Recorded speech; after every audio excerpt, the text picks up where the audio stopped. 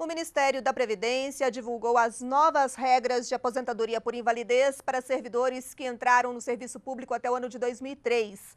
A partir de agora, o cálculo vai ter como base a remuneração do cargo em que o servidor estiver na data da aposentadoria.